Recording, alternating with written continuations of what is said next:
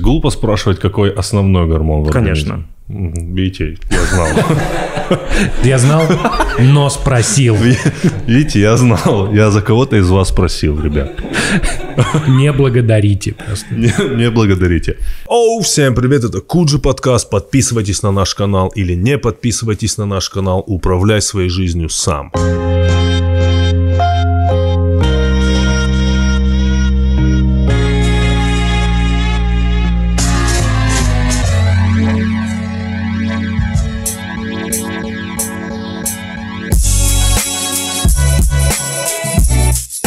Ого-го, вот вы и попались. А, Всем привет. Как вам мое начало? А, На связи снова Куджи, наши летние выпуски в жаркой студии. Мы не ставим кондиционер, потому что это лишние шумы. У нас Андрей отдох- Как неубедительно да, прозвучало.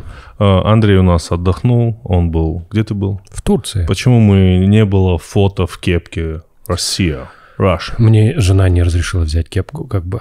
А Почему ты не обгорел? а, Обгорел. Обгорел? А Конечно. почему у тебя нет маски Зорро? Ну, потому что я... э, Потому что зрители не знают, но о маске Зорро меня предупредил Тимур Каргинов. Он сказал, что если вдруг ты будешь загорать, не носи очки, потому что как бы у тебя будет след в виде маски Зорро. И первое, что я увидел, это пацана лет 12, когда я пришел, ну, вот иду на пляж первый раз, навстречу этот пацан лет 12-13, и у него вот ровно маска Зорро. И как И я зовут? думаю, это знак. Я не знаю, просто вот идет парень, я думаю, это знак, это мне Бог напоминает, чтобы я не загорел с маской Зора. Поэтому я просто обгорел и все. Лысина обгорела очень сильно. Я же начинающий, э, как бы я только начинаю лысеть, да, я еще не, не понял все. Вот, и я совершенно не знаю, что делать, она здесь, и ты, и непонятно, как мазать ее, не мазать.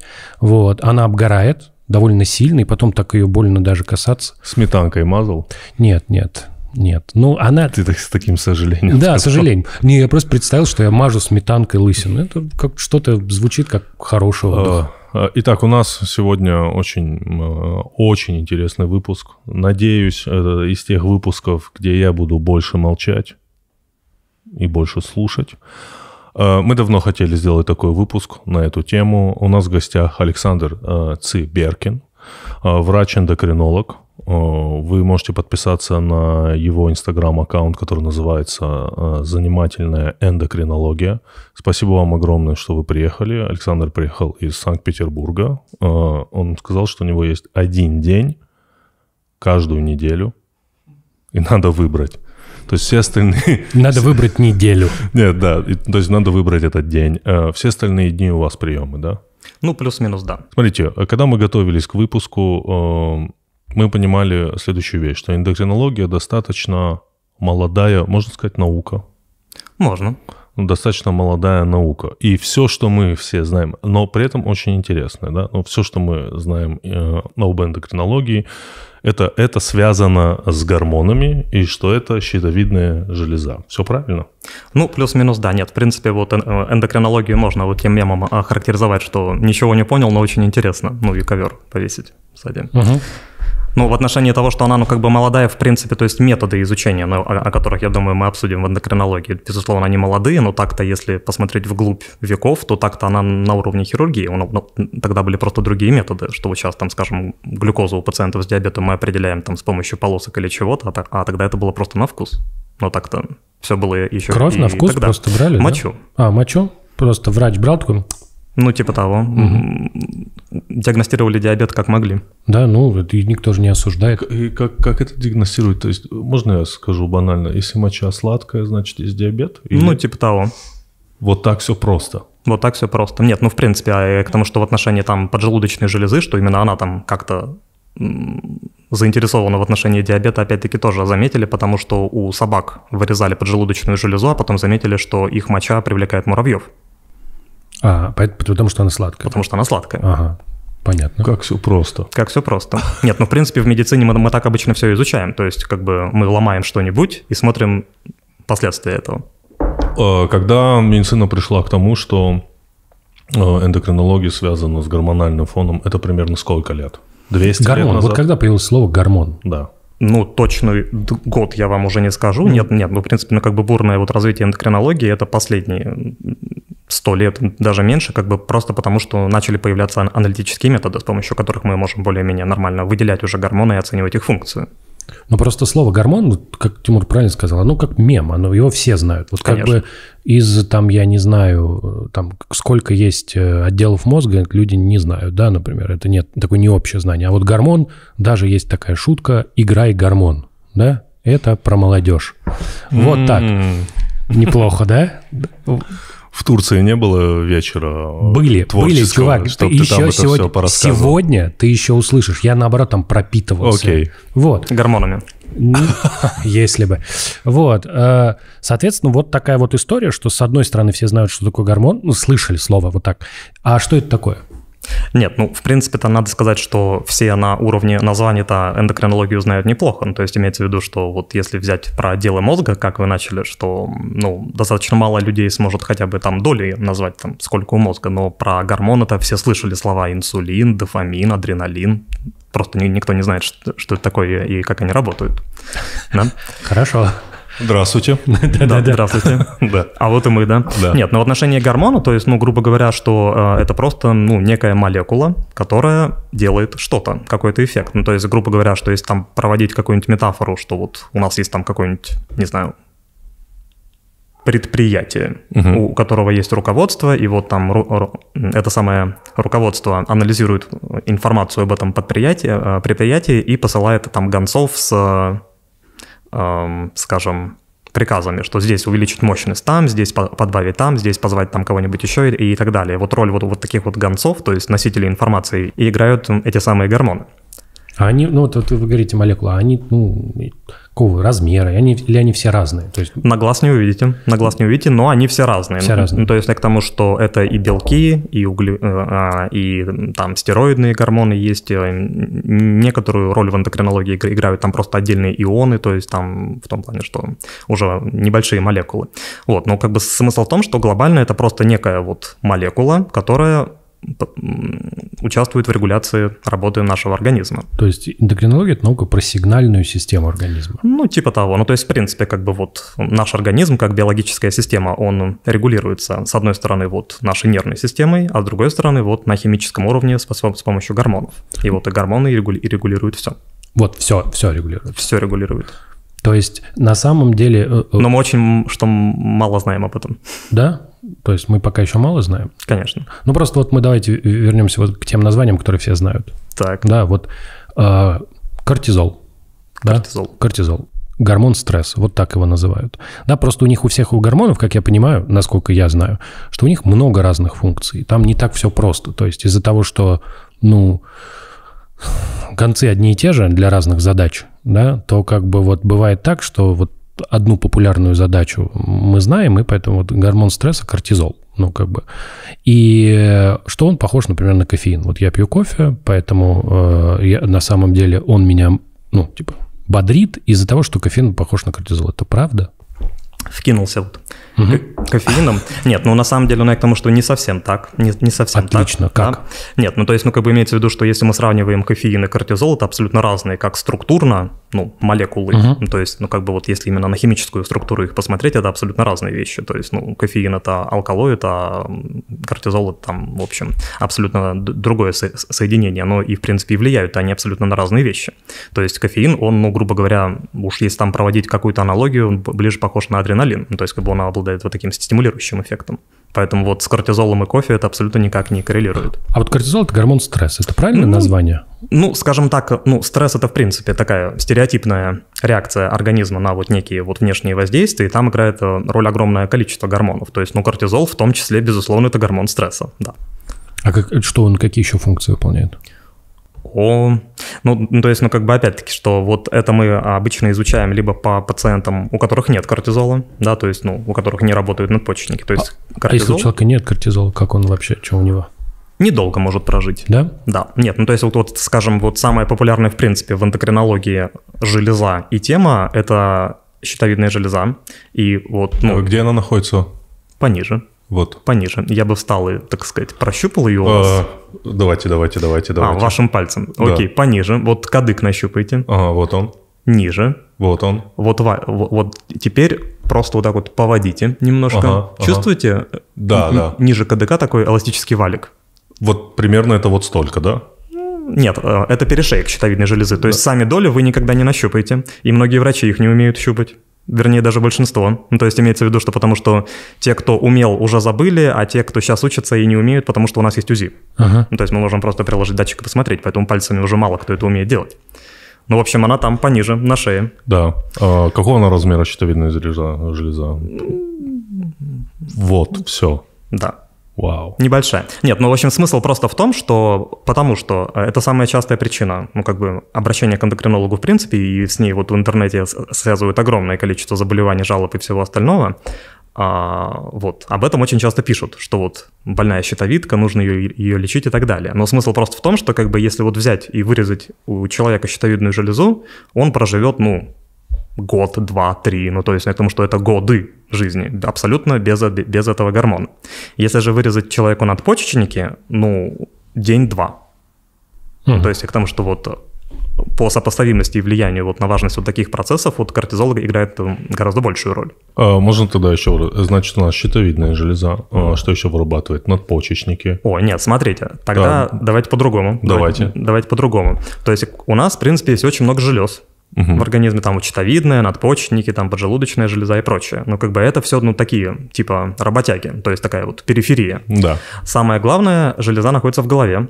Ну, то есть там вот есть ги- гипоталамус и гипофиз, может, слышали такие вещи. Ну, как бы вот для простоты самое главное – это гипофиз. Это как бы так, такой орган, который а, вбирает в себя всю информацию вообще со всего организма и вот и регулирует работу всех других желез. То есть и щитовидные, и надпочечников и всего остального. То есть он, ну, как бы вот посылает им, то есть он вырабатывает свои гормоны, которые регулируют работу других желез, которые вырабатывают уже гормоны, которые влияют на наше здоровье. Мгм. Типа того. А Вау. желез-то вообще много. То есть вот есть гипофиз, есть щитовидная железа. Около щитовидной железы есть э, много маленьких еще так называемых околощитовидных желез, которые делают совершенно другое. То есть они там отвечают за баланс кальция в организме. Там за кости, вот это вот все. Щитовидная железа, она влияет на все понемногу.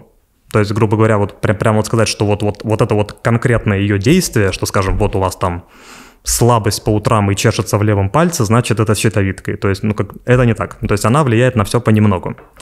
Дальше у нас есть надпочечники. Они вот вырабатывают много гормонов. То есть, вот самые популярные из них это кортизол и адреналин.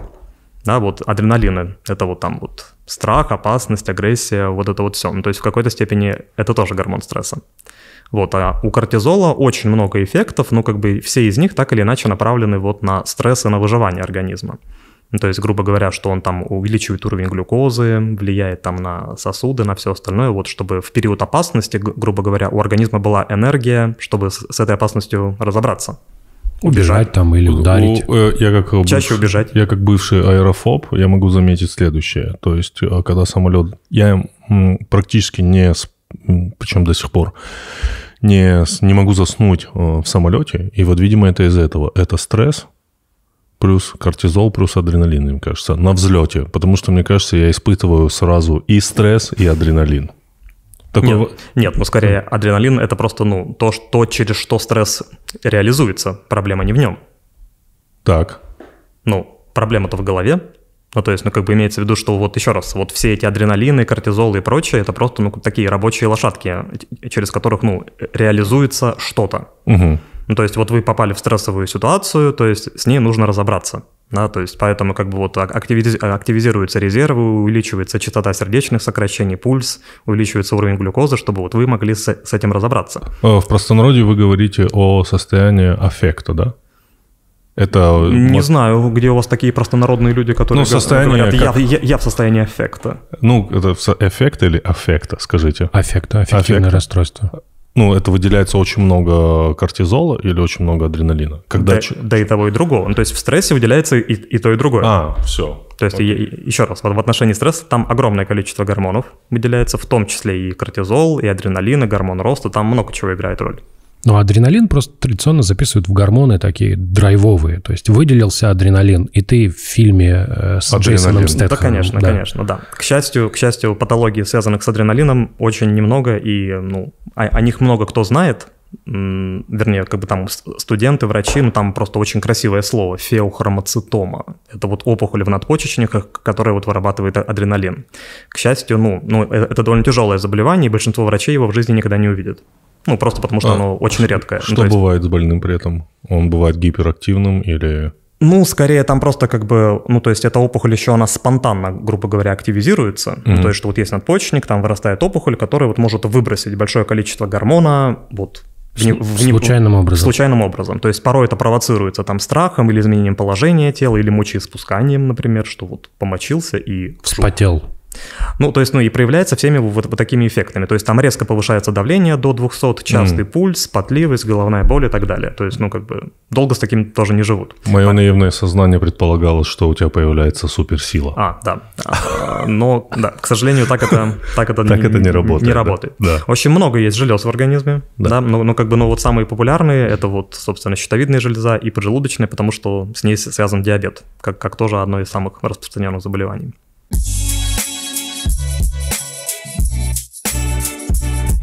Итак, Озон Экспресс – это Тимур Кофе. У нас сегодня первый эксперимент в истории Куджи.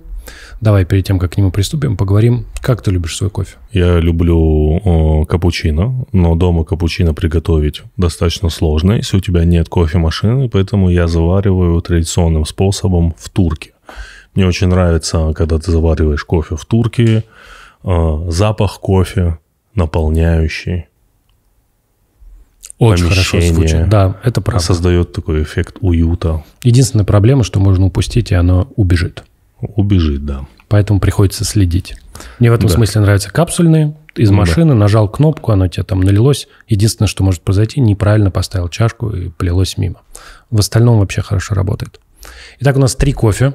Как да. нетрудно догадаться, заварной, капсульный и дрип – Drip. What, what is it, drip? What is it, drip? Drip. Вот, это кофе, который делается типа как американский, когда кофе засыпается в фильтр, вода проходит через фильтр, и он по капельке набирается. Вот от, от, от английского drip, что значит примерно капать. Вот, тебе предлагается по попробовать кофе и угадать, где какой.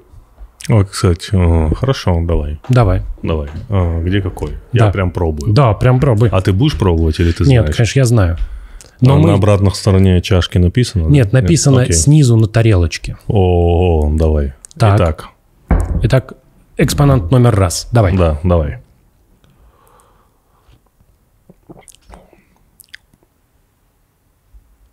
Турка. Угу, хорошо. Этот.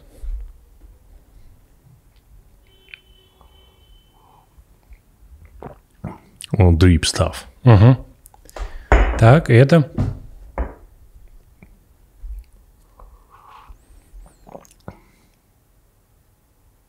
Ну вот, наверное, это капсула. Угу, отлично. Итак, это ты сказал турка, да? Да. Вот так поднимаем, и это капсульный кофе. Капсульный, капсульный кофе, кофе, ребят. Отлично, мимо. мимо. Давай. Так, теперь следующий, значит. Да. Это ты сказал drip stuff. Yes. Да, так. Что здесь написано? Drip stuff. Drip stuff. Тут ты okay. угадал. Ну и последний, просто из соображений математики ты не угадал, как ты понимаешь, да? Это капсульный. Это, соответственно... Три там написано. Это заварной. Ну что? А, заварной. В турке. Турка. Отлично. Ну, в целом ты справился более-менее. Приз будет какой-нибудь? Нет, приз чувство собственного, чувство удовлетворения от того, что ты угадал одну из трех. И немного бодрости от каждого глотка. И немножко бодрости от каждого глотка. Да. Это был Озон Экспресс. Доставка за час. У них есть своя собственная арабика. Это все кофе мы заказали на Озон Экспресс. Своя собственная обжарка. А, под нашим видео промокод на 15%. Я вот люблю арабику, кстати. Такую Почему? пеночку дает. Пеночку? Да. Какой кофе без пеночки? Это правда.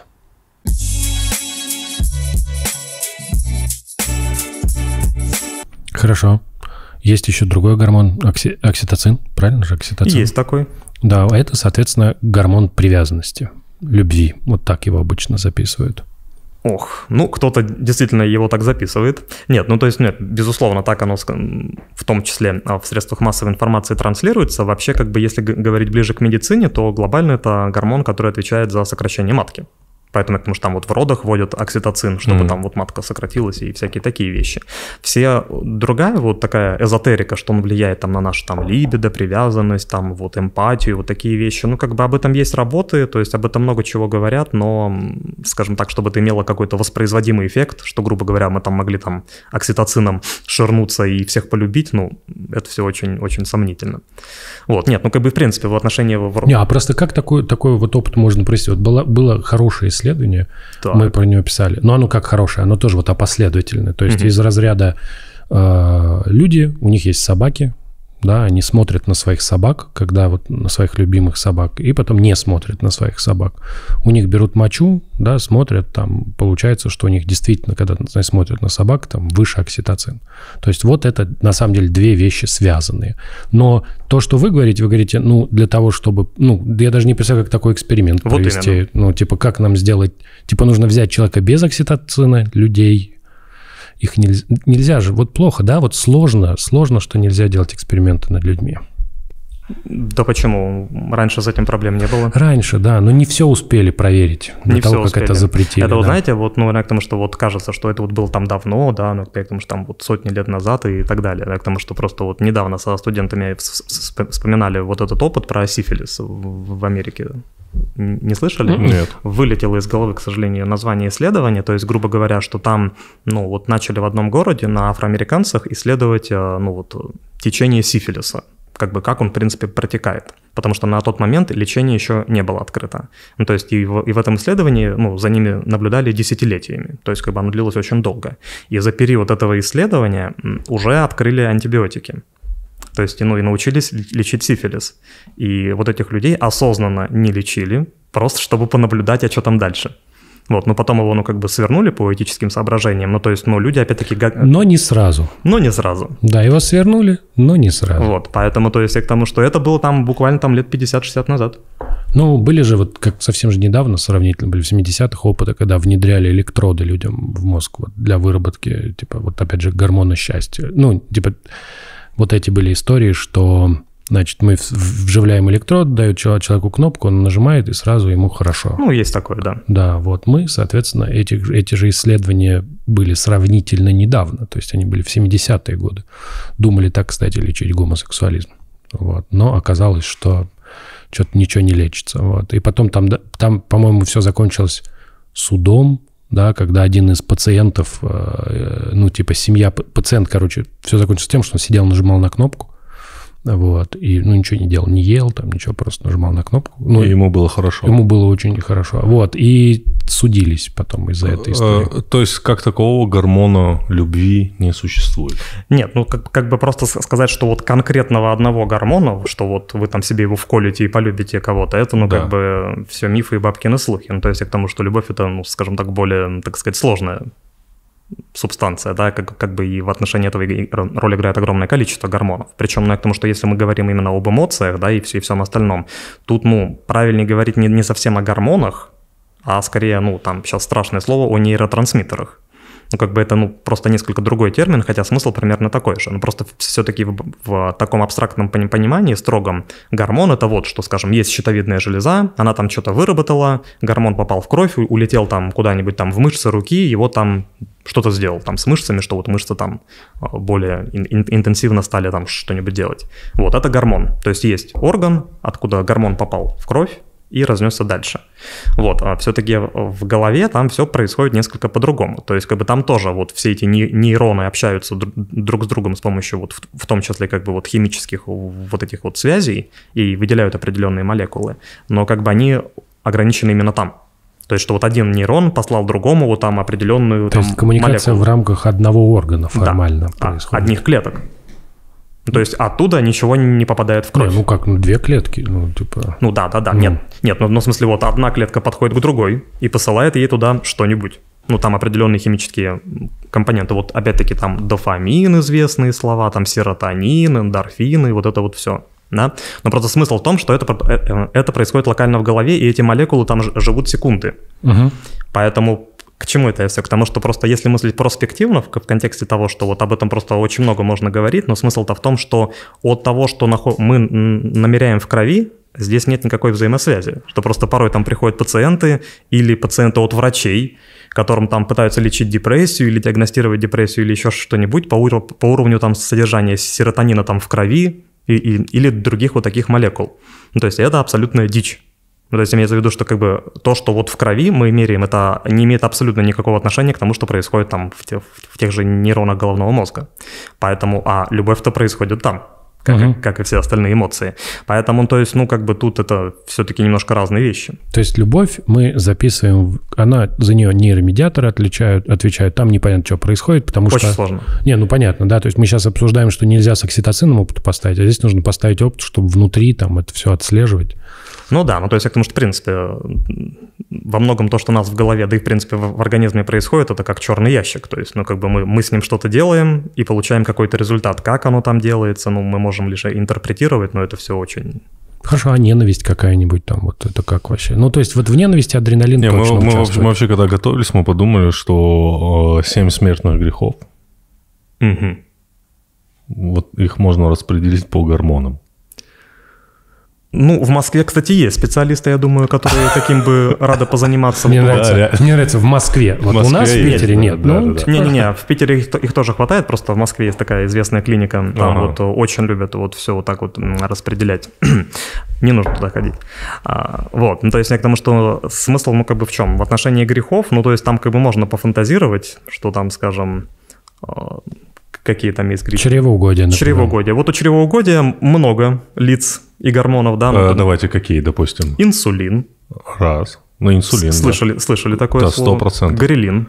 Это не что, слышали, что, вот это не слышали. Что Лептин, грилин. Нет, нет, нет, нет. Нет, нет, ну, в принципе, я к тому, что там очень много, как бы, есть, грубо говоря, гормонов и, и тех же самых нейромедиаторов. Там грилин, лептин, субстанция А. А, это нейромедиаторы.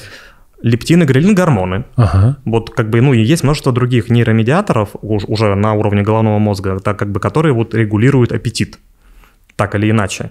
И, грубо говоря, что просто вот очень м, популярно в клинической практике вот и, и, и у некоторых врачей вот измерять их концентрации, делать там как, какие-то выводы которые не имеют абсолютно никакого клинического смысла. Ну, как бы, то есть, ну, мы знаем, что делают эти гормоны, но глобально от того, что мы их померяем и будем знать их уровень, это ни на что не влияет.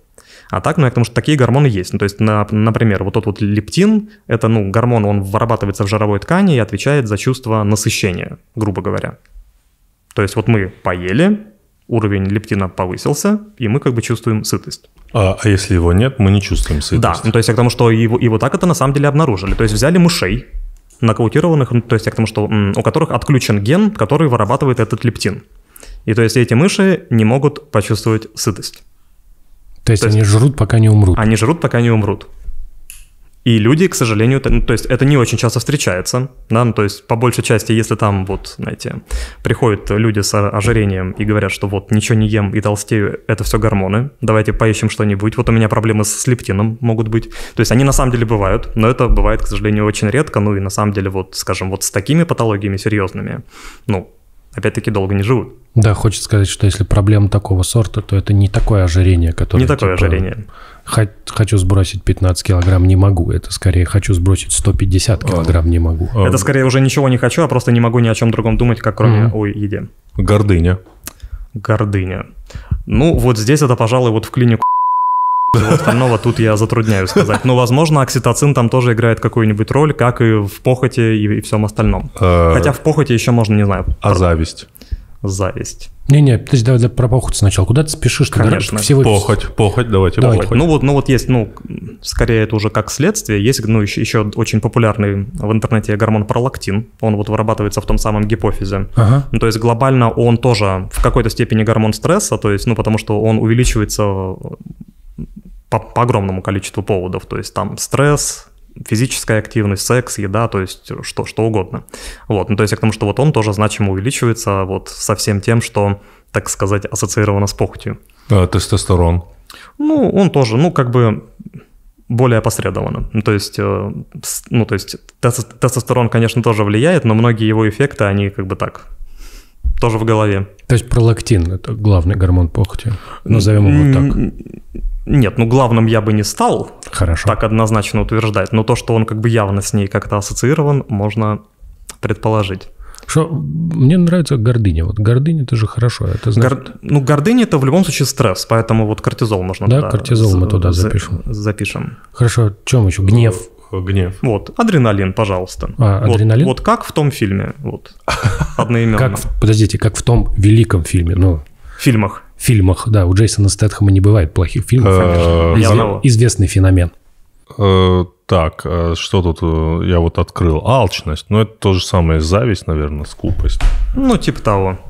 В общем, А. с грехами, да. С, грех- с грехами, да. Раскидали, все нормально. Раскидали, да, в целом.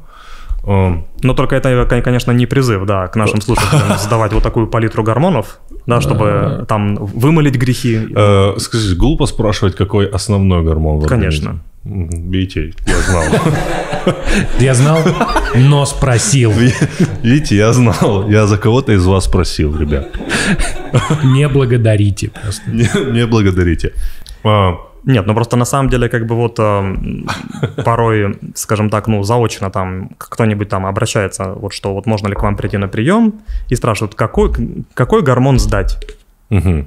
И это всегда, ну, как бы ну, вызывает, так сказать, некоторые вопросы и дистресс. Что вы отвечаете? Просто, вот просто интересно. Я просто говорю, что приходите, пообщаемся, возможно, ничего и не, и не нужно сдавать, и в 90% случаев я прав. Но мы поняли, что удаление э, щитовидки, человек несколько лет проживет, а вот с надпочечником, там просто все гормоны, да, то есть там скорее типа много сразу.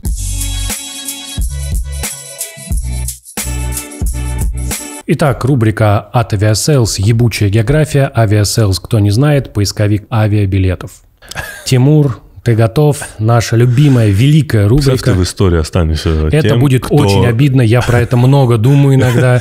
Который будет говорить, который будет ассоциироваться со словом «ебучая география». Ты такой пишешь, я пишу очередную статью по математике и постоянно про это думаю. То есть все Давай. скажут, Андрей, да, тот самый, ебучая география. Да. Так вот, Кувейт. Что ты знаешь про Кувейт? Я знаю следующее, что там была операция «Буря в пустыне». Угу, Это там было? да. И я знаю, что это где-то на Ближнем Востоке. Угу. Также я знаю, что это рядом э, с Ираком. Ну, чтобы Ирак мог туда торгнуться, нужно, Вторгнуться, чтобы да. было рядом, да. Э, Вот в целом. Я думаю, что это достаточно светская страна или нет. Сложно. Сложно. Не Сейчас туда, не, не так, туда пошел. Да, не так просто. Да. Сегодня мы поговорим про небольшой, очень небольшой город, такой даже не поселение, скорее деревня, Сулабия называется. Да. Вот. Э, Это поселение считается самым э, жарким местом в Азии. Там была зарегистрирована температура свыше 53, почти 54 градуса по Цельсию. Но знаменито это место, конечно, не этим. Да, ну что, разве это может ты, можешь ты за высокую температуру в ебучую географию попасть? Нет.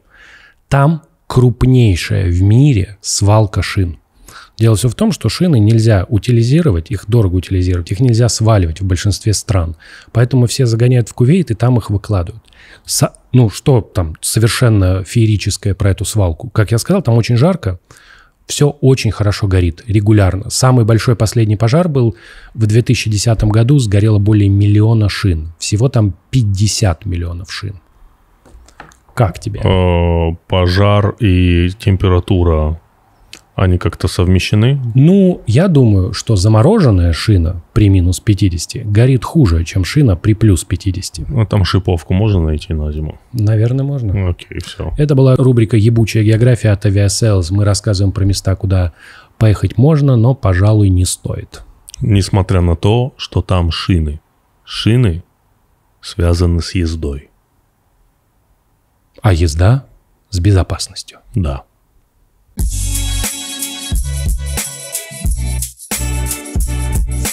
А вот смотрите, а может быть такое? Вот мы два разных человека. Так. Так. а, И Ну, Вау. Ну, я, в принципе, заметил, да, но, да, э, но, но допустим. Смотрите, у, нас норма, гормональная норма разная. О, Так, так, так. Ребят, второй вопрос. Так. Да. а, нет, ну, это просто очень надолго. Давайте, Отлично. давайте. Отлично, да, Э, ну, Давайте. Все, Окей. все посмотрели. Укладываемся, да? Ну хорошо, е- е- если что, пинайте меня под Да. столом, если, ну, ну, ну, не сильно. Нет, смотрите, просто в отношении нормы именно в эндокринологии, да, и анализов, это как бы очень, ну, такая скажем так, неоднозначная тема в контексте того, что а что вообще считать нормой. Вот. Да? Просто, ну, как бы я такой термин тоже использую, если общаюсь с пациентами, да, ну, там, чтобы отличать там норма, болезнь, там, патология там, или что-нибудь. Но, например, при общении с коллегами, вот мы обычно слово норма стараемся избегать. Если мы говорим о гормонах, то мы чаще говорим о референсном диапазоне или там целевом диапазоне именно уровня там, того или, или иного гормона. Смысл как бы просто в чем, что как бы что, что такое норма? Да, как бы и, и, и откуда а, она взялась. То есть просто в эндокринологии почти всегда все сводится к определению гормонов, да, ну то есть это лабораторные анализы, то есть вот вы сдаете кровь или какие-нибудь другие жидкости на определение чего-нибудь, и приходит бланк, типа там цифра и граница нормы. Да. Вот откуда эта норма, по-вашему, взялась? Mm. Но это же не скрижали с небес, что вот нам спустили, что вот пролактин должен быть. Не знаю, кто-нибудь день записал, потом ВОЗ переиздал, потом еще раз переиздали, все-таки, ну это же так вот и должно быть. Так. А у нас была история про то, что вот откуда взялись эти полтора метра дистанции. А выяснилось, что, э, ну, типа, откуда они взялись? Ну, потому что посмотрели, вот нормативы, по нормативам, если человек чихает, в среднем разлетается на полтора метра. Все-таки, ну, хорошо, а кто это написал? Начинаем, начинаем, начинаем, оказывается, исследование 1920 какого-то года, и на самом деле разлетается в среднем на 6 метров. И все таки типа, м-м, понятно, но все равно полтора, пусть нормально. Полтора, но... Ну, привыкли же уже. Да, примерно так. Нет, нет, на самом деле так оно и есть, так оно и есть. То есть и во многих, ну, как бы, скажем так, вот принятых фактах и, скажем, традициях и ритуалах в медицине все это основывается на том, что нас так всегда учили, как бы вот по поколениям нас так всегда учили, а если смотришь на первые источники, на статьи там опять-таки, 20-х, 30-х годов, то там обычно кто-нибудь типа написал, а давайте так, ну, в принципе, звучит логично, почему бы и нет. И как бы все это принимали, и дальше уже как бы просто передавали. Да, но на самом деле как бы вот у этой нормы, да, в, на том же самом лабораторном бланке есть как бы источник. То есть все-таки проводятся некоторые исследования в отношении определения этой самой нормы. И там это как бы все упирается в мощности этих исследований и, и, и выборку. Ну, то есть, грубо говоря, как, как вот понять норму? То есть мы берем условно здоровых людей, и что-то у них там определяем, да. Вот, опять-таки, что должна быть нормальная выборка, потому что, ну вот, если мы возьмем всех присутствующих здесь, да, ну как бы Мало. По, да, по росту, по полу, по, по цвету глаз и всего остального, и, скажем, и войдет там какая-нибудь афроамериканка, можно ли будет считать это нормой, да? Вот, поэтому, то есть, я к тому, что там э, берут определенную выборку, ну, там, скажем, 100, там, 200 человек, примерно здоровых людей, которых, вот, по мнению э, многих людей в социальных сетях, да, что не бывает э, здоровых, и бывают недообследованные. Но тем не менее, ну, я к тому, что берут условно здоровых людей, определяют у них какой-нибудь показатель, ну и строят вот эти распределения, да, нормальное распределение, и вот мы, вы же математика, да, а, сейчас вот буду искать поддержку. Ну, то есть я к тому, что и берут два стандартных отклонения, да, от среднего. То есть имеется в виду, что как бы вот есть норма, там, скажем, вот мы у всех посчитаем рост, да, и в среднем там он будет там где-нибудь 160, там 170, ну, примерно сантиметров, да, и чем дальше вот этого, то есть чем ниже и те, или, или чем выше человек, тем как бы меньше вот таких людей будет. Соответственно, вот за, за норму берут минус 2 и плюс 2 стандартных отклонения, то есть иными словами, вот в норму входит 95% здоровых От обследованных. Людей. От обследованных. От, от обследованных в конкретном исследовании. Но Здоровых это, людей, да, да, вот так. Да, но это потом экстраполируется абсолютно да, на, конечно, на всех да, людей. Да, да, да, да. Но просто главная эта мысль здесь в чем? Что чисто вот по вот этому определению нормы, вот в норму не впадает 5% абсолютно здоровых людей. Угу. И это по каждому анализу. Ну, то есть вот если над этим задуматься, да, что вот любой анализ, ну, то есть это не к гормонам даже относится, любой анализ, вот вы, вы который сдаете, и приходит циферка на бумажке, то как бы даже если вы абсолютно здоровый, у, у одного анализа есть вот 5% вероятность, ну, то есть что, 2, что 2,5% он будет выше нормы и 2,5% ниже. То есть вот в России там сколько сейчас? Там 100, 144, по-моему, миллиона человек, да, ну то есть вот если предположить, что все они здоровы, сделать такое допущение, ну там по, там скажем, что у них нет там колоректального рака, например, да, и, и, и, то есть взять у них там анализ на скажем, кал на, на скрытую кровь или на что-нибудь такое, то у двух с половиной, ну, вернее, как бы... Ну, Пошли референсы к предыдущим куджи. Угу. Конечно, конечно. Да. Сейчас еще до урологии дойдем. Нет, ну, вернее, как бы, э, конечно, не совсем корректный пример, потому что есть огромное количество, вот как вот вам уже тогда рассказывали, причин, почему кал на скрытую кровь может быть положительным, то есть там мясо поели там или что-нибудь такое. Но вот если бы ничего, ничего этого не было, и это был бы идеальный анализ, то вот у двух с половиной процентов людей он пришел бы повышенным. Вот в России 144 миллиона, то есть вот у, сколько там, у 3,5 миллионов он бы пришел повышенным. Да. И это по одному анализу. Соответственно, если как бы сдавать, ну, обычно же сдается больше, да, вот мы проходим там всякие офисы а, лабораторий, там вот чекапы, чекапы, акции, да, там сдай 50 гормонов, приведи друга и получи еще один в подарок. Ну, то есть я к тому, что... Гормон. Конечно. Ну, ну, типа того. Нет, а, это, кстати, знаете, вот а, на, на приемах вот порой приходят э, пациенты по ДМС, и, э, ну, по вот этому, да, по полисам. То есть и там обычно как бы структура такая, что врач там, если считает нужным им что-то там, согла... ну, вернее, назначить, он это согласовывает с вот этой самой страховой. И то есть вот у меня был недавно случай, что как бы вот там вот нужно было у мужчины определить определенные гормоны, то есть там вот тестостерон и еще парочку гормонов, которые вырабатываются вот в том самом гипофизе. А называются они лютеинизирующие и фолликулостимулирующие гормоны. То есть и обычно, ну вот, скажем так, у, как бы, у врачей, вот, которые этим профессионально не занимаются, они больше ассоциируются с тем, что они вот регулируют э, менструальный цикл у женщин. Ну, то есть, ну, мужчин они тоже есть, и, и, и, они, и они там играют свои вещи.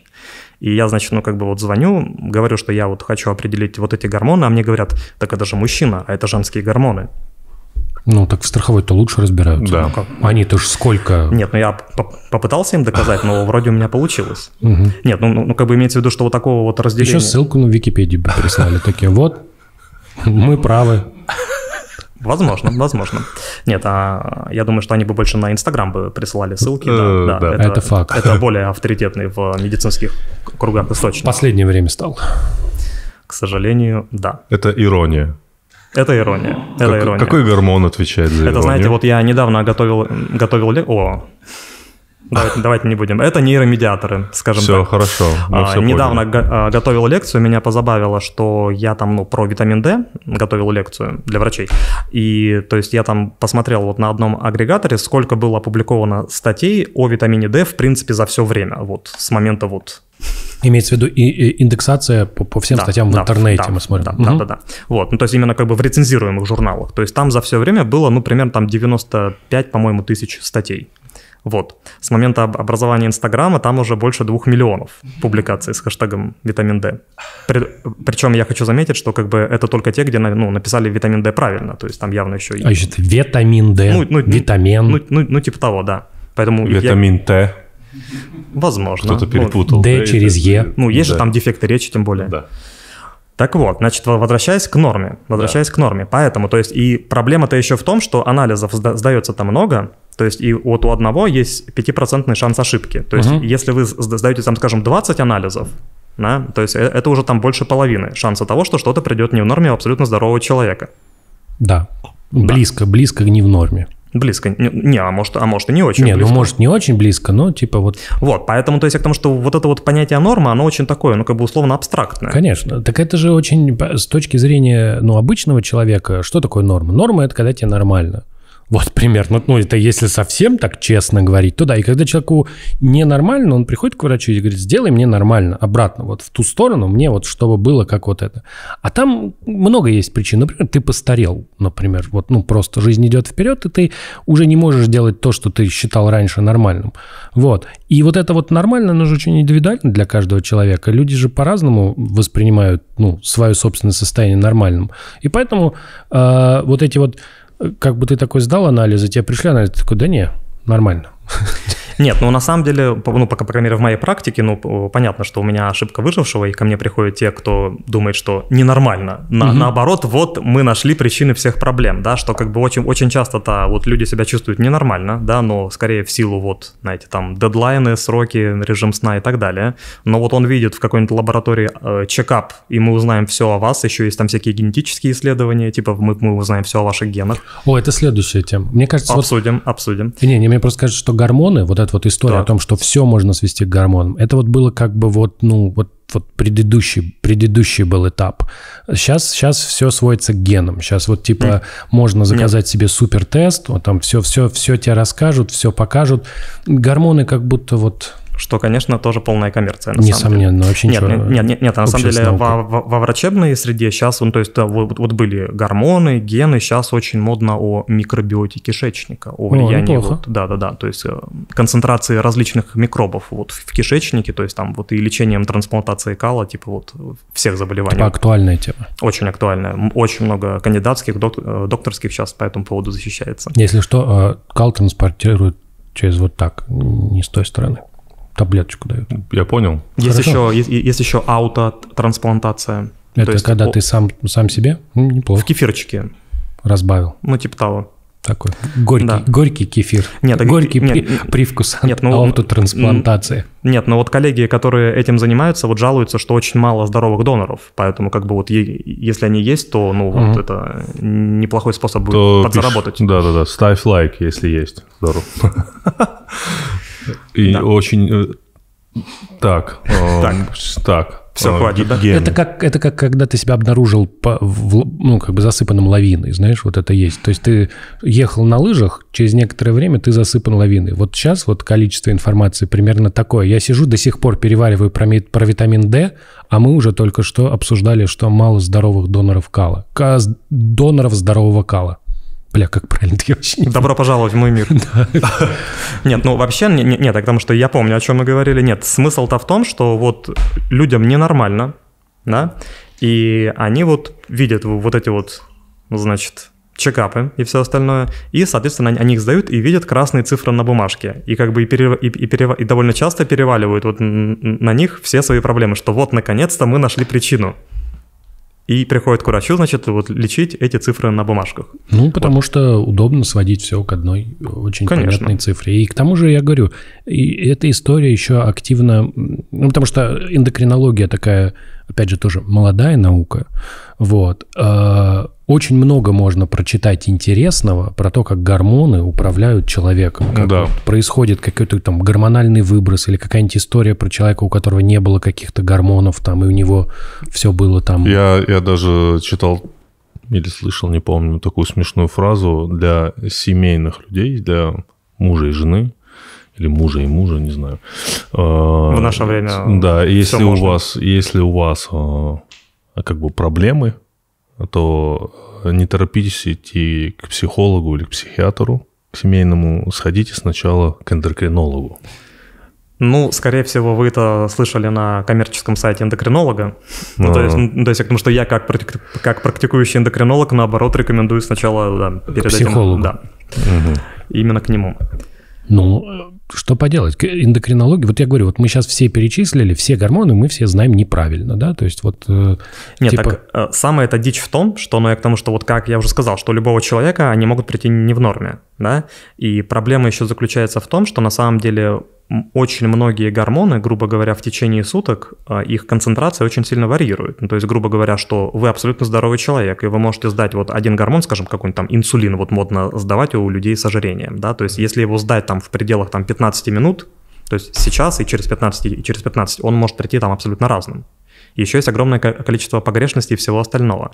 Поэтому вот к чему это я все говорю, что вот когда у меня пациенты спрашивают до приема, что «а давайте я что-нибудь сдам сначала», то есть «а какой вот самый главный гормон?» Поэтому я- им обычно и говорю, что давайте-ка вот мы с вами сначала поговорим, а, А- нужно ли вообще что-то А сдавать. как вот происходит этот разговор? А Вот что вы в процессе выясняете? Вот я прихожу к вам и говорю, давайте сначала поговорим. Я говорю, вот, Так. допустим, давайте, я свою жизнь напишу. Эм, Так, а что у меня не так? Не, у меня все потрясающе. Вот и идите дальше, э, ну откуда какие, пришли. на что жалуетесь? Я говорю, ну, у меня там слабость, да, некая, допустим, я невыносливый, допустим, да, там нет желания заниматься спортом, или там нет желания работать, или я раздражительный. Да, примерно так происходит беседа. Ну, типа того, нет, ну как бы я, ну, да, но просто вот все, что вы перечислили, это, Да. в принципе, ну, такие, скажем так, неспецифические А. довольно жалобы. Ну, Ну, есть- хорошо, давайте. У меня там м, Нет. выпученность глаз. Это может быть... Вот это уже интересней. Да, ну то, ну, то есть я к тому, что вот в, в рамках эндокринологии, да, но я к тому, что вот слышали слова базедова болезнь. Да, базедова сказать, это болезнь, да, я из, про уч- это из- говорю. из учебника просто. Я единственное, что помню, Да, это да, да. йод, базедова болезнь, Да. выпученные глаза. Да, ну, нет, ну то есть, но опять-таки, что причиной выпученных глаз и, может быть огромное ко- количество других, да? То есть мне надо описывать скорее физические симптомы, чем нет, эмоциональные. Нет, нет, нет. да? Смысл просто, в- просто в том, что гормоны, вот в частности, влияют, ну, как, как мы уже обсудили, в организме практически на все. Да? То есть, ну, как бы и одни гормоны влияют на другие и так далее. Поэтому вот у большинства эндокринологических заболеваний очень много проявлений в комплексе. То есть не бывает такого, что вот на, на что-то одно они влияют, скажем, на глаза, Да. а, на все остальное нет. Угу. Вот, поэтому, то есть, как бы, в принципе, вот все вот эти эндокринологические заболевания мы оцениваем в комплексе, что вот там, допустим, если мы подозреваем, что причина вот в этой базедовой болезни, да, и вот это вот выпучивание глаз связано с ней, мы оцениваем другие симптомы, там, как бы, вот, ощущение сердцебиения, тремор, угу. снижение массы тела, нарушение менструального цикла у женщин и так далее. Вот. Хорошо. И э, происходит эта беседа, вы говорите, так, нам надо сдать вот такие-то, такие-то гормоны, да? да? Ну, то есть я говорю, что сдайте вот это, вот это, вот это. Приходите, собственно, и а, там решим. Э, дальше как, как, как происходит, допустим, лечение дальше? То есть э, вы даете нехватающие гормоны или... Вот, да, это как раз то, что хотел спросить. Вот как выглядит лечение? Да. Потому что мы очень сейчас послушали, и выглядит это описание, да, выглядит так, что там так все работает, что лучше вообще не пытаться туда залезть. Ну, грубо говоря, да. Ну, да. Нет, нет, то есть как бы смысл в чем? Нет, все не так плохо, все, все не так плохо. Ну, да. То есть я к тому, что прогресс в медицине есть, да, то есть я тут э, излишние сложности, да, и, и критики медицины не, не хочу привносить, мы очень много чего можем сделать. Вот, просто как бы смысл в том, что, к сожалению, большая часть того, с чем приходится как бы иметь дело, это убеждать людей в том, что на самом деле вот, вот эти вот цифры на бумажках – это не их проблемы да, проблемы в чем-то другом. Вот, если же проблемы есть, то есть именно вот в отношении конкретных эндокринологических заболеваний, там мы очень много-много чего можем сделать.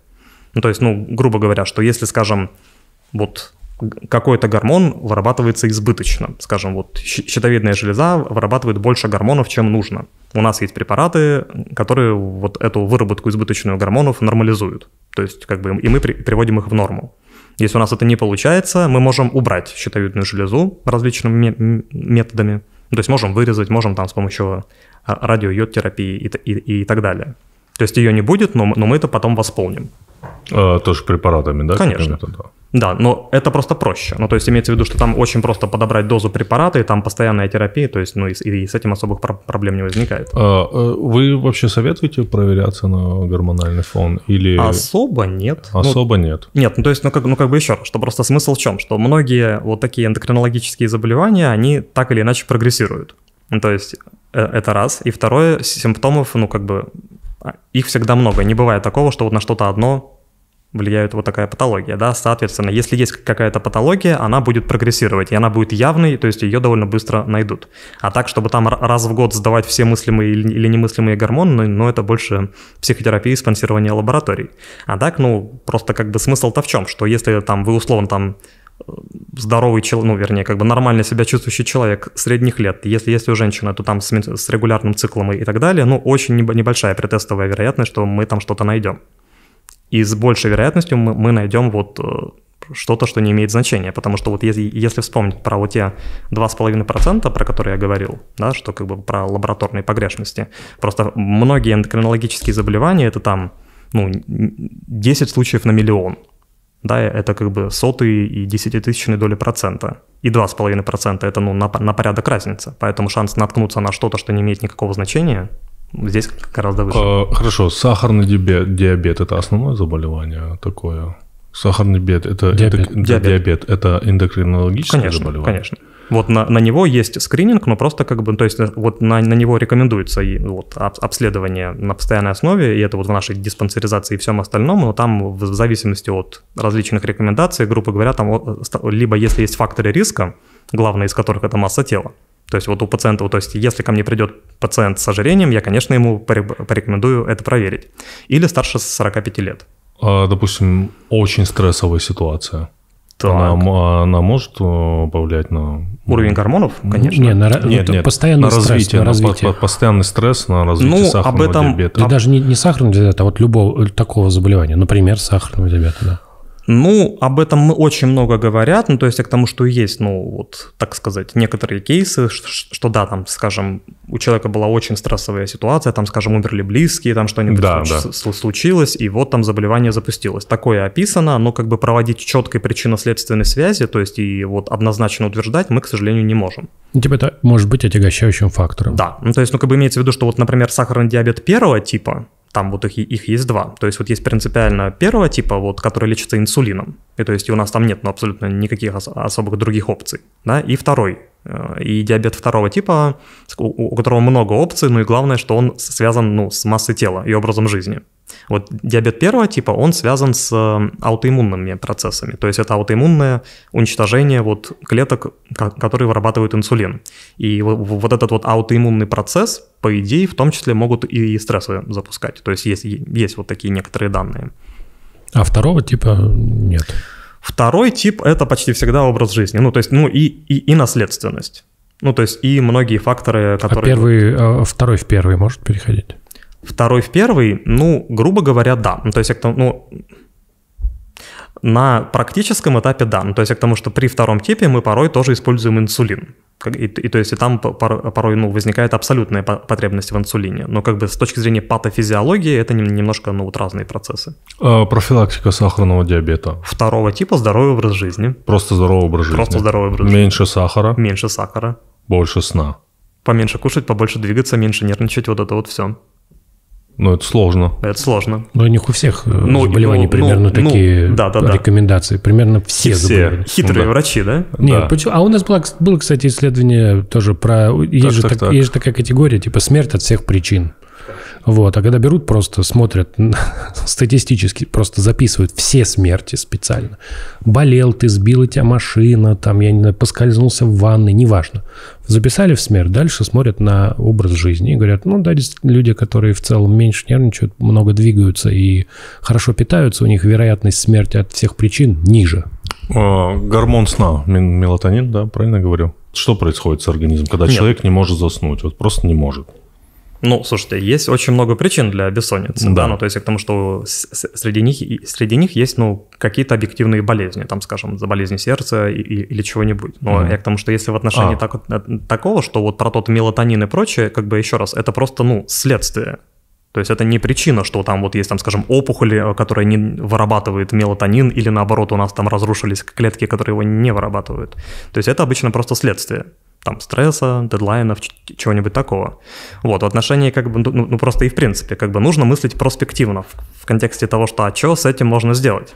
В отношении того, что как бы если при бессоннице попить мелатонин, ну кому-то он помогает там при вот да, там, часовых поясах, джетлагах и всем остальном.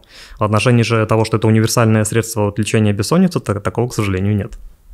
Э, хорошо, мы тут э, вы вспоминали про витамин D. Очень много тоже про это слышу. Очень витамин, много. Витамин D. Можете вот нам рассказать? Витамин D. Хэштег, я его, хэштег, хэштег витамин, витамин D. Я ну, его... Ну, правильно нужно написать. Да. Да. Э, я его принимаю. Ну и принимайте. Все. Все. Скажите, это чуть ли не последнее время, я не знаю, может быть, когда популяризация идет витамина D, но он как будто смещает витамин С. Нет. Нет? Серьезно? Ну, То как будто бы все, пошатну... все, как будто уже Очень такие... просто, очень просто проверить. Открываем Инстаграм, вбиваем да. хэштег витамин D и витамин С и смотрим, где больше. Окей, и как будто вот он... у витамина D 2,2 миллионов. А у витамина С, С еще телевизор. Витамин С это же типа... Целевая аудитория витамина С не смотрит, э, вернее, не пользуется Инстаграмом, да? Может, пользуется, но просто он так более кроссплатформенный. То да. есть у него в целом... Заюзанный. Да, если считать индекс цитирования, то нужно по всем платформам смотреть интегрально. А, витамин D стоит принимать всегда хуже не будет в большинстве случаев. Нет, ну то есть имеется в виду, что просто как бы есть конкретные клинические ситуации, где доказана польза от приема витамина D да, но как бы их очень немного, и вы туда не попадаете. То есть вот угу. могу вам сказать по вашему внешнему виду. Так, а, а, а ну-ка, какой у нас внешний вид? Хороший. Хороший, хороший. Окей. Ну, я же, я же, да, я же, я же здесь у вас. Андрей отдыхал, если что, поэтому. Да, да я бы, я как раз думаю, попадаю к концу года такой вообще. Да. Да. Не, просто смысл в чем в отношении витамина D и всего этого хайпа по нему, потому что, ну, как бы есть огромное количество публикаций, да, о том, что вот там витамин D связан там с раком, с болезнями сердца, с тяжестью коронавируса, еще там с чего-нибудь и так далее. Но просто все эти работы, вот все эти работы, где хоть что-то нормальное было показано, ну, в смысле, что вот он э, положительно связан, они строятся по одному и тому же принципу, что берут больных людей и меряют у них уровень витамина D. Потом берут здоровых и меряют у них уровень витамина D. И уровень витамина D у больных людей оказывается ниже. И делается вывод, что вот больные люди, у них низкий витамин D, значит, они больные, потому что у них низкий витамин D. Мы восполним витамин D, и все будет хорошо. Но просто после не значит вследствие, да, то есть как бы вот, эти корреляции, они не доказывают причинно-следственной связи, да. То есть имеется в виду, что просто как бы есть ну, альтернативное объяснение тому, почему у больных людей может быть более низкий витамин D. То есть, например, потому что они просто больные. Ну, то есть, скажем, там э, люди с больными сердцами, они сидят дома, не гуляют на улицах, у них меньше доступа вот к солнцу и так Но далее. это типа не причина, а следствие. Да. Просто человек болеет, Нет, у него про- низкий витамин да, D. Даже, даже, ну да, то есть следствие, то есть, а просто низкий уровень витамина D это просто, ну, как некий такой индикатор того, какой есть образ жизни у человека. Или же, например, что просто про витамин D знают вот молодые здоровые люди, потому что они там читают Инстаграм и так далее. И, в принципе, они, они, м, ну, озабочены своим здоровьем, чаще сдают анализы, то есть и так далее. То есть, ну, не в витамине D дело.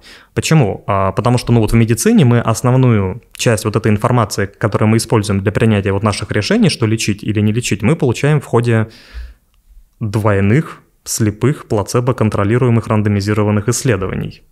Какое слово объяснить? Отлично. Отлично. Да, все, все объясните. Всё объясните. Двойных мы понимаем. Так, Тут у ну, нас тут не- математик. Двойных слепых. Двойных слепых. Ну-ка, Поним- давайте. Понимаем. Двойных мы слепых. взяли кучу Ну, людей, да, перетусовали их. Да, и мы не знаем, кому что мы даем. А Сами. А, почему двойных? А, а тройных? Есть еще и тройные слепые исследования. Да, это когда... Так, так, так, Ух, математик, знаю, когда ну-ка. даже не знают, кто, кто что подвозил.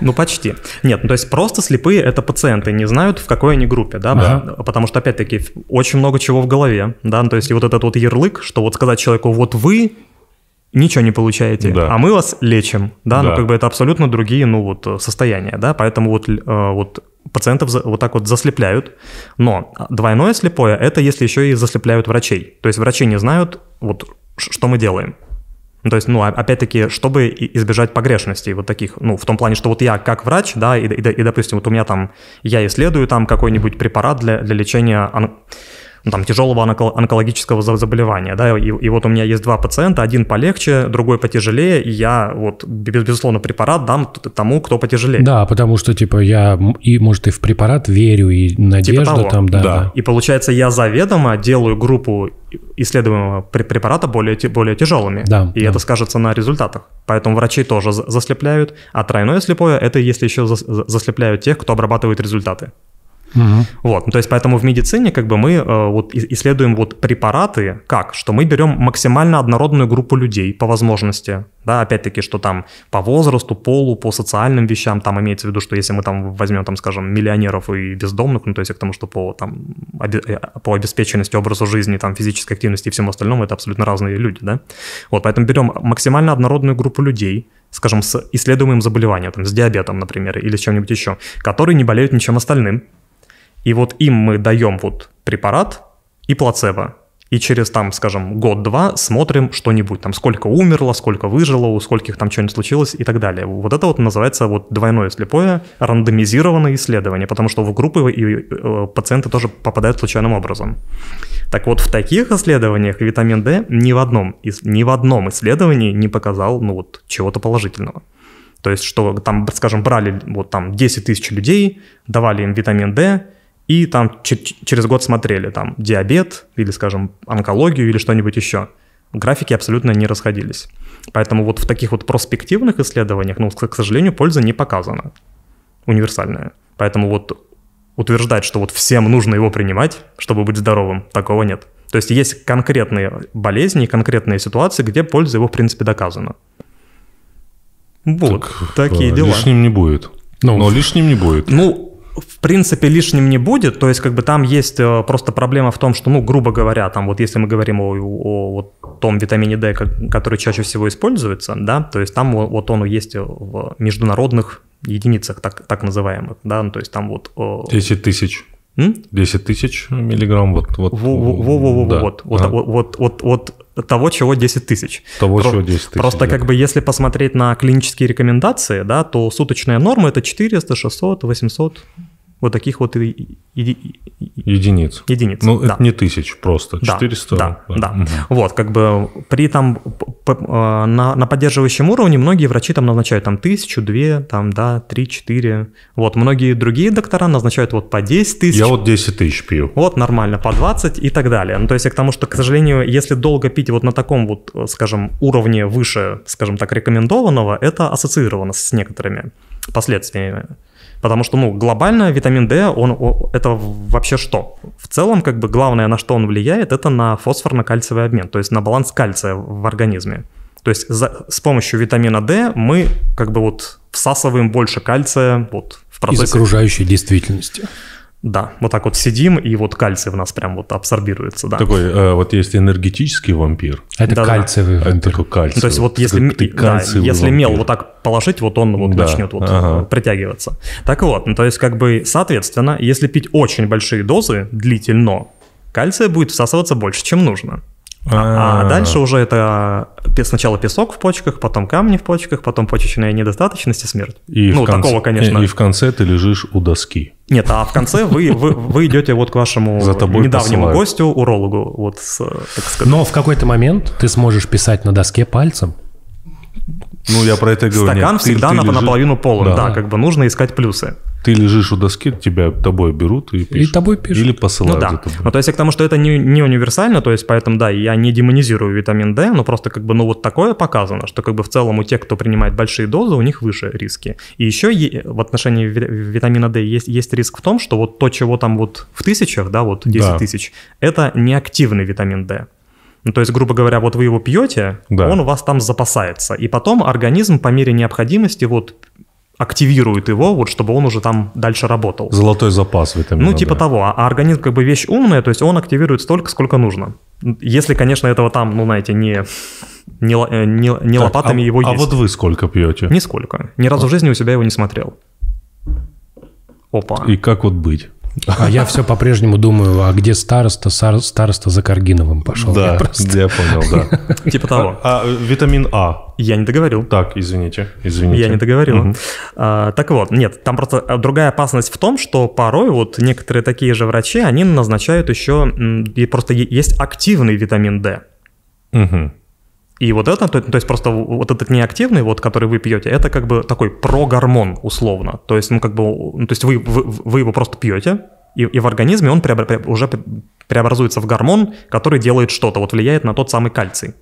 Но как бы им передозировать очень сложно, потому что организм сам, как, как я уже сказал, вот ре- регулирует то, сколько образуется вот этого активного ви- ви- витамина D. Но если его выпить как бы уже исходно акти- активированным, это уже активный гормон, который влияет на уровень кальция. И вот им как бы, ну, с гораздо большей вероятностью можно на- нане- нанес- нанести себе вред. И такое тоже порой делают вот на уровне тех вот 10 тысяч. Так, Подумай- так, так. под- Я, я подумаю. Подумайте Я- об я- этом. Хорошо. Ам, хз, витамин А. Вот тоже про него много слышал. Ну, есть такой. Нет, в принципе, ну, я к тому, что еще раз, вот по всем вот этим витаминам, да, то Да. есть как бы есть вот, скажем так, состояния, которые вот ассоциированы с их дефицитом, да, там, скажем, вот там был там дефицит ви- ви- витамина С вот у моряков, да, и поэтому там вот им... Цинга. Да, вот цинга, мангу, ой, манго, господи, кто он там, лайм им, лаймовый сок давали и, и так далее. То есть вот это вот выраженные дефициты. Вот там как бы вот у нас есть рабочие инструменты, и вот то, чем мы можем помочь. В отношении же всего остального вот сейчас, то есть если вы нормально питаетесь, то есть там фрукты, овощи, мясо, то есть ну как бы вот, то у вас нет ну дефицита почти всего. Ну, кроме, возможно, витамина D, потому что вот мы сидим за... Да нет, говорят, что работает это, типа лампы дневного освещения справляются. Ну, по-разному, по-разному. Ну, в общем, я к тому, что в том плане, что по большей части, ну вот, это, к сожалению, коммерция. Ну, Мгм. все, все это там про витамины, про вот микроэлементы в волосах, вот это вот все. Про витамины есть прикольная история. Ну, Так, да. так. Ну, э, она такая немного конспирологическая. Так, расскажи. был великий Нобелевский, Нобелевский лауреат Лайнус Полинг. Ой, ой, Да. я лучше Вот. чай попью. Да, А так, а почему такой скепсис? Так, Почему? Это хорошая история. Ну, просто ты великий человек. да. Но э, любой человек не застрахован на то, что он в какой-то момент может ебнуться. Ты можешь ебнуться, я могу. Александр, наверное, тоже. Многие считают, что уже давно. Уже давно. Вот. И он ебнулся и стал всем рассказывать про витамины. И, Так, а что он рассказывал? Ну, он рассказывал, что витамином С можно все лечить. В каком-то он утверждал, рак, что можно лечить рак витамином С. Нобелевский лауреат тебе говорит, витамином С можно лечить рак. Как ты ему поверишь? Он же Нобелевский лауреат. Ну, вообще-то А Нобелев- почему он по литературе? Просто- Ну, если он по литературе Нобелевский лауреат, я ему не поверю. Нобеля просто так не дают, извините. Ну, понятно, да. Все, видишь, какая грусть, тоска. Э, Хорошо. Э, Так, вот я думал следующий Кстати, вопрос. Да, поливитамины Поливитамины. от Лайнуса Полинга. То есть это такое, это коммерция. Все витамины коммерция, да? Примерно. Нет, нет, нет. Ну, то есть, еще раз, как бы вот Да. есть кон- конкретные ситуации, где они нужны. Ага. Но вот так вот массово скринировать на них и лечить вот всякие вот эти вот неликвидированные дефициты чем-либо, по большей части это коммерция, да. Э, Давайте тогда такой вопрос тоже. Э, Смотрите, гормональная терапия. Мы говорим о... Мы до этого сп- спрашивали Александра Дидзаря. Для спортсменов и не спортсменов это как бы вот в итоге это польза или не польза? Ну, когда завышают уровень, к примеру, тестостерона для того, чтобы была какая-то выносливость другая, восстановление мышечное. Нет, ну тут смотря просто, что мы определяем пользой. Ну то есть нет, ну как бы безусловно, вот такие любители натуропаты, да, и из кружка юных химиков, они довольно часто приходят на прием. То да, есть, да, приходят, да. ну конечно, приходят. Так. Куда а им деваться? Нет, нет, ну вернее... Они на- приходят проконсультироваться. Нет, ну сперва. вернее, на самом деле, к сожалению, ча- ну вернее, не к сожалению, это в принципе, ну как бы такая особая сфера, что, ну как бы к врачам они не, так часто обращаются, потому что, ну, во-первых, считают, что вра- врачи в этом особо не разбираются и справедливо считают. Ну то есть я к тому, что в медунивере этому не учат, да, то есть и, не- и, не- и нет там особых курсов, да, или чего-то такого. Вот. А с другой стороны, ну вот и потому, что вот они там вот в своей среде варятся, да, вот среди там со- собственных опинион лидеров и, инст- и инстаграм там гуру и, и так далее. Вот, но периодически они доходят, конечно. Вот, но в отношении того, что польза, не польза, просто а что мы определяем пользой. То есть, ну, я к тому, что именно по влиянию на, как бы, вот, так сказать, спорт не очень высоких дос- достижений, да, ну, как бы, то есть, ну, безусловно, там мышечная там ткань или что-нибудь такое, это улучшается, просто у всего есть своя цена. Э, Какая цена у этого? Допустим, человек хочет сбросить вес. Это помогает сбросить вес. Ну, если цель именно взбрось- сбросить вес, есть как бы... Но есть- при этом не убиваясь просто, потому что у него есть там работа и так далее. Нет, ну давайте так, все-таки вес берется не из воздуха. Сто Не, процентов. не из воздуха, да. Да. Ну, то есть я к тому, что и у нас есть просто препараты, которые влияют на пищевое поведение и ограничивают, ну, как бы вот это. Для этого не нужно себе колоть тестостерон. Ну, то есть, опять-таки, вот здесь вот, э, опять-таки, очень много работ, которые показывают, что вот все проблемы у мужчин из-за низкого тестостерона, вот они не могут похудеть, потому что у них замедленный обмен веществ, и вот нужно вот, значит, поднять уровень тестостерона, и вот, и вот тогда они похудеют. Это абсолютно, ну, как бы порочная э, логика, то есть все на самом деле не так. Ну, То есть имеется в виду, что у мужчин из-за избытка массы тела в силу определенных там причин как бы снижается уровень тестостерона.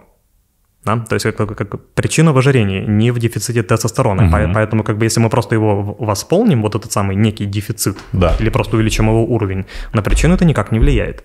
Поэтому, то есть, как бы, если именно желаемый эффект в снижении массы тела, у нас есть, как бы, более, ну, скажем так, эм, проверенные и, и работающие препараты для снижения массы тела. Хорошо. А Наращивание массы. Наращивание. н- н- Наращивание, да. Наращивание. Тут, ну, как бы еще раз, просто у этого есть определенные риски. Так, да? расскажите нам о них. Просто мы вот планируем. Планируете? Да. А детей... А Дети, дети есть, все. А, все, уже. Не, не, не, ну тогда, в принципе, можно, в принципе, можно, а почему нет? Почему нет? Нет, какие риски? А, То есть это невозможность иметь детей впоследствии? Ну, не, не, не невозможность, ну, то есть, ну, на период активного пользования, то есть, это, безусловно, как бы, вот, будут с этим проблемы, да? Э, Не зачатие, да? Ну, типа того. Нет, смысл просто в чем? Что если по-простому, вот в яичках у мужчин есть, ну, грубо говоря, два вида клеток. Вот так, так называемые клетки Лейдига и клетки Сертоли. Может, вам там уролог про это рассказывал? Нет. Да, чуть-чуть. Или рассказывал. Нет, Да. ну нет, как бы просто вот логика в, в чем? То есть вот давайте я вам объясню всю эндокринологию на конкретном примере. Яичек. Всю, Всю. вообще всю. Вообще все. Нет, просто все в эндокринологии определяется принципом отрицательной обратной связи. Мне бы сейчас доску, ну ладно, я к тому, что без нее. Ну, то есть, смотрите, как, ну, как бы смысл в чем, что А, вот Тимур еще не допил витамин D, Да. он еще не может. Чуть позже. В Да, следующий да, да. раз, когда придем, будет доска, я буду там лежать. договорились. Да. А, нет, ну я к тому, что или же вдруг, если с- э, случатся последствия от избыточного приема витамина D, у, на- у нас будет конкретный, ну, готовый препарат, на котором можно будет все. Отлично. А, ну так вот, ну, то есть просто смысл в чем, что вот есть гипофиз, он там выр- вырабатывает определенные гормоны, которые стимулируют работу яичек, вот тех, у, у тех вот самых клеток, да? А вот эти клетки, вот одни отвечают за сперматогенез у мужчин, а другие вырабатывают тестостерон. И, соответственно, вот этот вырабатываемый тестос- тестостерон уже, в свою очередь, обратно влияет на гипофиз. То есть, чем больше тестостерона, тем меньше гипофиз вырабатывает своих гормонов, тем меньше тестостерона, тем больше он уже вырабатывает, и, и- и- и достигается вот такой баланс. Мгм. Понятно примерно мысль, Да. Так вот, когда вы- вот, вот эти вот любители похимичить вводят себе большие дозы тестостерона извне, они гасят работу своего ги- гипофиза.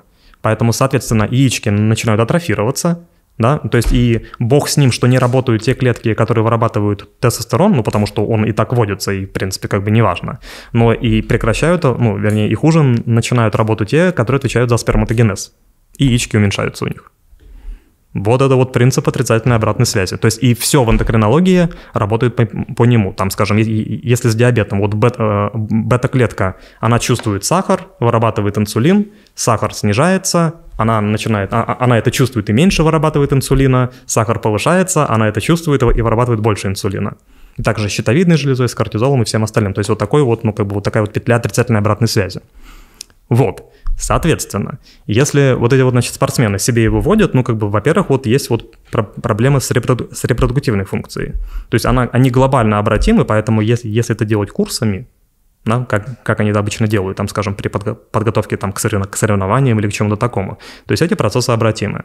Ну и, в принципе, а, то, что они себе вводят, э, это ну, такие огромные дозы, ну, то есть имеется в виду, что это на порядок больше, чем вырабатывается собственными яичками, хоть даже их два.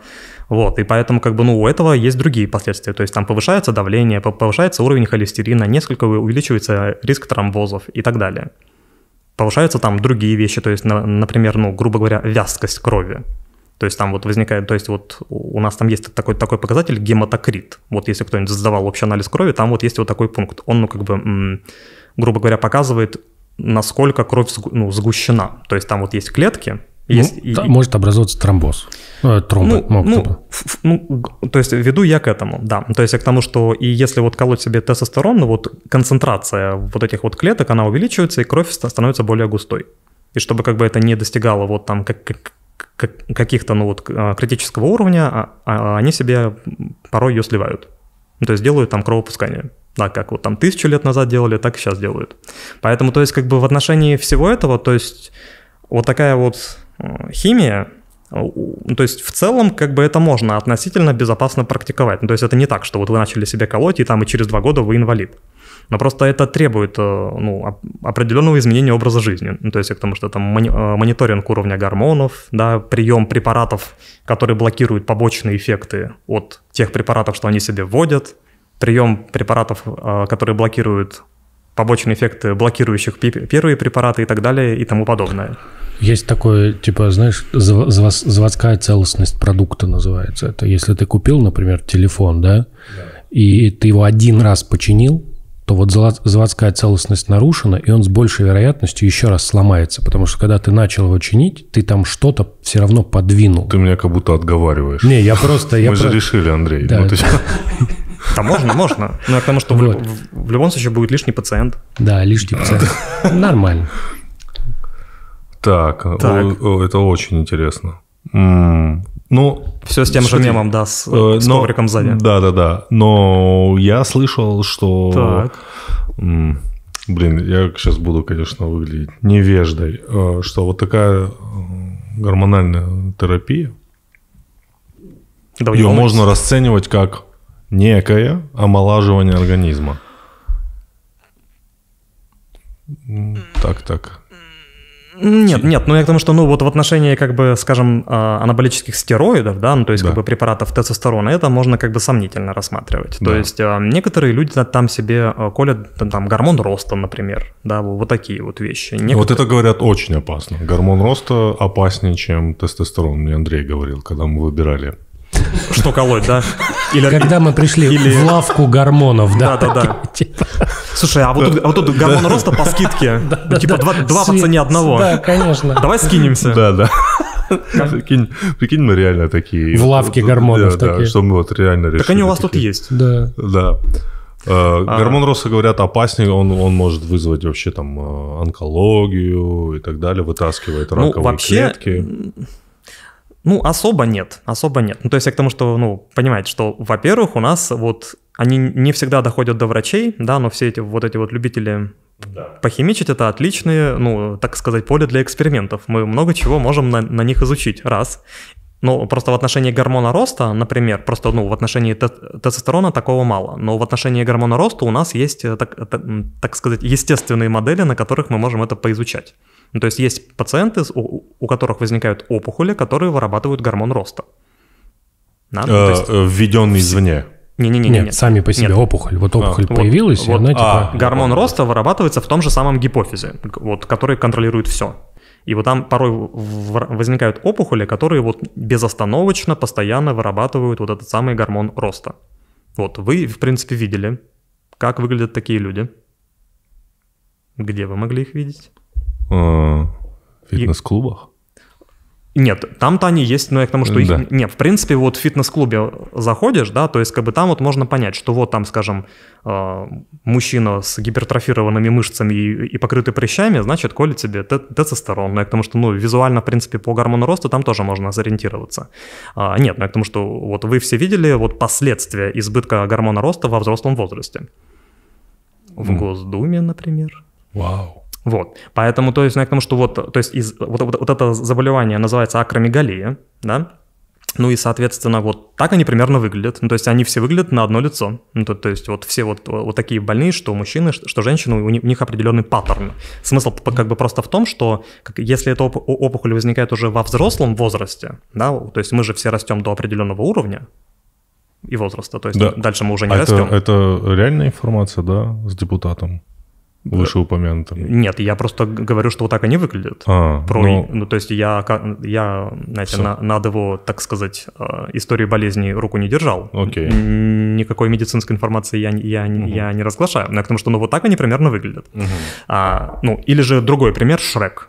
А, все. Да? Все. Ну, то есть вот, вот здесь как бы могу до, до, до, достоверно сказать, что вот этого Шрека взяли, то есть вот этот вот его вот визуальный образ взяли э, от французского рестлера, забыл его слово. В общем, был такой французский рестлер, вот у него как бы была акромегалия. То есть вот он выглядел именно вот так. А, так вот, просто как бы мы растем до определенного возраста, и потом вот зоны роста как бы на конечностях, да, там руки-ноги, они закрываются.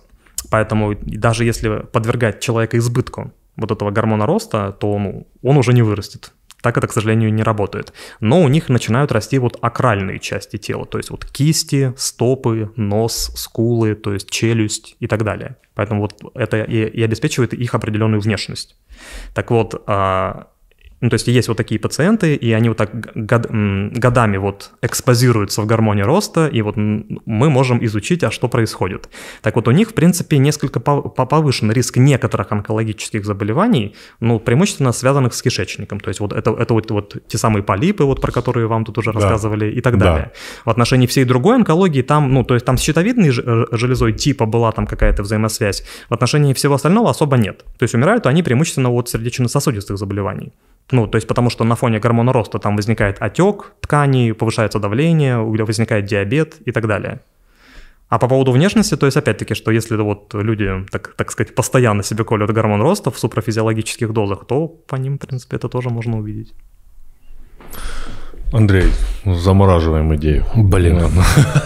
Не, ну если что, я вам дам свой промокод, так что э, подумайте. хорошо. Просто, ну, как бы еще раз, что у всего есть, ну, как бы свои, это, так сказать. Э, давайте вот напоследок поговорим. Э, вы говорили, что вы работали инфекционистом в ковидном госпитале, да, в прошлом году? Пришлось. Три месяца, да.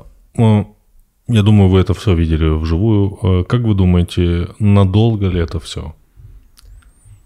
Ну, скажем так, нет, то, что я видел к тому, что надолго это или нет, не имеет особо никакого отношения, да, то есть к тому, что скорее всего надолго, потому что вот, ну как вы знаете, вот у нас есть некоторые проблемы с вакцинацией, да, и угу. вот э, и социальной политикой, связанной с этим, и вследствие этого, ну вот возникают дополнительные штаммы, там вот про вот дельта-вирус, там все слышали да. и, и так далее, то есть, ну как бы уже не секрет, что, возможно, нам пока, ну, пока, пока еще хватает букв греческого алфавита, но это ненадолго, то есть смысл просто в чем, что вот есть вакцина против... Но все закончится на омеге, как мы знаем. как там часто и заканчивается, да. Но, но наверное, как бы, ну... Какая-то их шутка. Хотя... Фильм был такой, простите, знаю, фильм был такой «Омега», где Омега, там прилетал Вор, э, вирус из космоса, он назывался «Омега», он, типа, заражал людей, и там, типа, должны были взорвать ядерную бомбу, но решили не взрывать кто знает, к чему это все приведет. да. Проблема просто в том, что как бы, ну, исходно эта вакцина делалась против, ну, конкретного штамма, да, то есть и на фоне того, что не все быстро вакцинировались, э, вирус продолжает циркулировать, возникают новые штаммы, которые могут быть более агрессивны, да, вот борьбу за существование и естественный отбор, и вот это все никто, к сожалению, не, не отменял. Поэтому, ну, неизвестно, насколько это может затянуться. Ну, то есть, э, когда мы в прошлом году все думали, год-два, ну, Сейчас я уже слышу цифры 4-5, а Сингапур, по-моему, вообще уже э, решил просто сказать, что... Живем и живем. Да, живем и живем. Может быть и так. Ну, Швеция так попробовала, что-то у них... Не-не, имеется в виду, что это будет такой сезонной историей. Типа вот у нас все открылось, потом новая волна, мы все закрыли, и так... Ну, привыкнем уже. 10 лет, ну, да, да. нормально. Ну, умер и умер. 10 лет. Ну, а что? Ну, а что? Привыкли же уже. Более-менее это уже все. Что Че бухтеть-то? Ну, не знаю. Ты, я... ты, ты представляешь, ты представляешь да. вот, ну, как бы вот это сейчас сложно представить. 10 лет, а, 10 лет, два года назад никто не знал, что такое ПЦР. Сейчас, типа, у меня сын такой говорит, пап, я больше тебя раз ПЦР сдавал. Потому что он там вот ездил куда-то там с классом, там, надо сдать ПЦР, это обычная история. Вот он больше меня сдал. Он говорит, когда тебе, говорит, в нос палку будут сувать, ты, говорит, глаза закрой, иначе слезы потекут. И давайте а, такой вопрос. Вот э, Андрей меня попросил его задать. Ну, вот скажите, а вот... Сам э, постеснялся? Да, а вот, ну, он, да. Надо было его в кепке России задавать. А вот у, у, у, у чувства патриотизма вот есть э, вот определенный гормон? Конечно, есть. Так, как он называется? А, а я не скажу. Как, как это так? А вот так. Нет, ну вообще, ну, как бы на самом деле в отношении патриотизма возможно, возможно, но я к тому, что некоторым врачам и ученым в нашей стране, то есть они его уже открыли. Потому да. что вот мне тут просто как бы сходу вспоминается история, что накануне вот неких общественных волнений, вот прошлом году, да, и в начале этого, то есть мне показывали мои студенты на сайте вот а, некого вуза, а, было опубликовано, значит, там вот послание вот проректора по там учебной работе, что там вот не нужно вот ходить на вот эти вот массовые мероприятия и прочее, и там, и там обосновывалась позиция, почему ей не нужно было этого делать, ну там, что вот там вами манипулируют, бла-бла-бла, и там была дана рекомендация, что типа, а лучше сходите и проверьте гормоны. Но какие гормоны, он почему-то не уточнил. То есть он есть какой-то этот Где-то там. Где-то там он есть. То есть, возможно, там, там просто у них был дефицит вот этого патриотина или чего-нибудь О, такого. патриотин. Нет все. такого гормона. Но можем, можем. Поздно уже, все, есть. Да. Э, Александр, спасибо вам огромное. Надеюсь, мы еще раз встретимся за этим столом. Было очень интересно. А мне рекламировать сейчас э, Инстаграм? Или вы просто постоянно на него ссылались так? Итак, инстаграм-аккаунт Александра «Занимательная эндокринология». Подписывайтесь, ребят, вы будете знать что-то интересное. Вот, спасибо вам огромное, что вы уделили нам э, свое время, приехали из Санкт-Петербурга. Еще раз поблагодарю вас. Спасибо всем, ребят. Спасибо огромное. Спасибо вам, спасибо. Да.